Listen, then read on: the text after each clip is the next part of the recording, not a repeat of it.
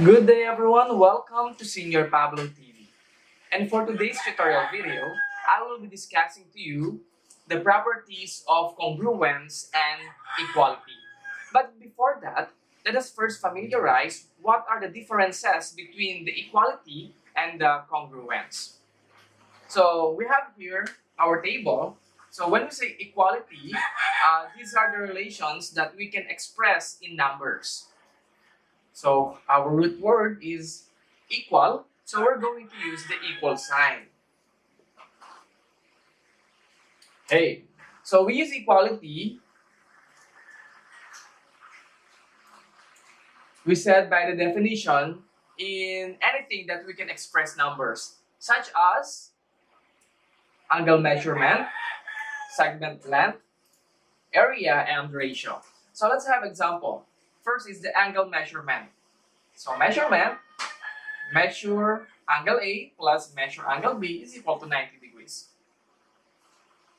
Our symbol. So in our equality, we can use the addition or our multiplication. Segment length, let's say we have MN is equal to PQ is equal to 5. For the area, area of quadrilateral BCDE is equal to 81 cm squared. And for the ratio, 3 4 is equal to JK over KL. So this indicates our sides and we use the equal sign. Now for the congruence and similarity, so congruence and similarity for the congruent, uh, we use, are you familiar with this symbol? Okay, the congruent. And for the similarity, we have this symbol. Okay? I will include similarity. For the congruence and similarity, we use this in our geometric figures. So in our figures, like unlike in our equality, we cannot perform uh, addition and multiplication in this congruence and similarity. Uh, to further understand, let's have this figure and example. If we have the angle, so angle A is congruent to angle C. So this time, we use the symbol congruent. Line segment, so we have segment MN is congruent to segment PQ. And for the polygon, let's say triangle DEF is similar to triangle GHI. And for the circle, all circles are similar to other circles. So those are the differences between the equality and congruence and similarity. Now, let us proceed in the different properties of congruence and equality. Now let's have our first property, the reflexive property. When a relation, we use this symbol or the star to represent our unknown relation has a reflexive property, it means that the relation is always true between a thing or itself. Between a thing or itself. So, A has a known relation to A. So, let's have our table. We have the relation, we have the equality, congruence, and similarity. We have the symbols for the equality, the equal sign, for the congruence, the congruent symbol, and for the similarity. So to understand this reflexive property, let's have our example. So a thing is equal to itself. So that is always true. So that's why if we have negative 1 half, that is equal to negative 1 half. If we have angle MNP, that is congruent to angle MNP. And if we have triangle N MNP, that is similar to triangle MNP. So those are the different relations. And of course, our example. Now, what if we have the figure? Because you will be dealing with the figure and you will be using this property to prove some triangles. So we have here our first figure, number one. We have triangle ABC, or oh, let's say we have D here. Okay. If we're going to withdraw our triangle, or to separate our triangle, that will become like this one. So that is A, B, D. And we have B, C, D. By reflexive property, we know that uh, BD is equal to BD okay. by reflexive property or or segment BD is congruent to segment BD or the measure of BD is equal to measure of BD by reflexive property. Now, what if we have this figure? So again, if we're going to red row, that will become like this one, the smaller triangle. So we have here K, L, O, and the bigger one, we have K, M, N.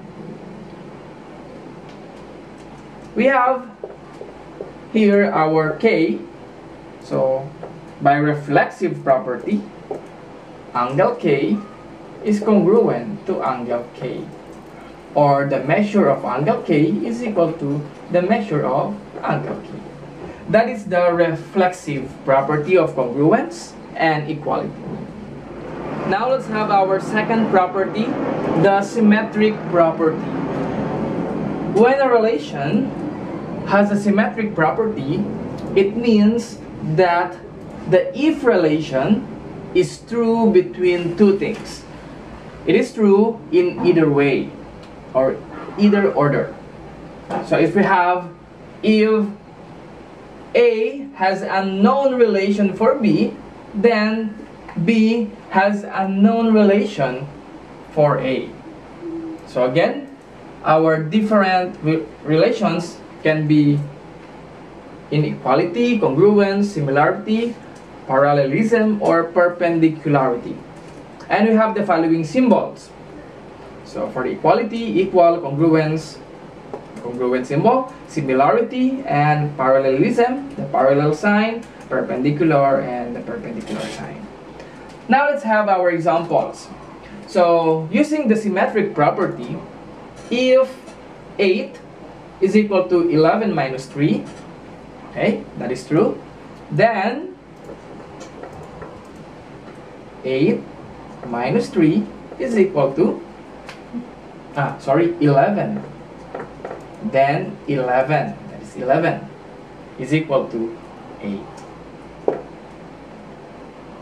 For the congruence, if segment VW is congruent to segment XY, then segment XY is congruent to segment VW. For the similarity, if ABCD is similar to MN, let's say OP, then MNOP is similar to ABCD. For the parallelism, if line M is parallel to line N, then line N is parallel to line M. And for the perpendicularity, if ray ST is perpendicular to ray UV, then ray UV is perpendicular to ray ST. So that is the symmetric property. And now our third property, the transitive property. When a relation has a transitive property, then the two things that relate to a common middle thing also relate to each other. So if A has an unknown relation to B and B has an unknown relation to C, so our middle thing here is B, then A has an unknown relation to C. So also relate to each other. To better understand, let's have the following relations and examples. for the equality, if angle uh, measure angle F is equal to measure angle G and measure angle G is equal to measure angle H so our middle here is measure angle G then measure angle F is equal to measure angle H. That would be our conclusion using the transitive property. For the congruence, if triangle RST is congruent to triangle WXY and triangle WXY is congruent to triangle FGH, so our middle here is triangle WXY. Then triangle RST is congruent to triangle FGH. That is by transitive property. Third, similarity. If circle A is similar to circle B and circle B is similar to circle D, then circle A is similar to circle D. And for the parallelism, if segment JK is parallel to segment LM and segment LM is parallel to segment NO, then segment JK is parallel to segment N. So that is the transitive property of congruence and transitive property of equality. So those are the three properties of congruence and equality. Thank you for watching Señor Pablo TV.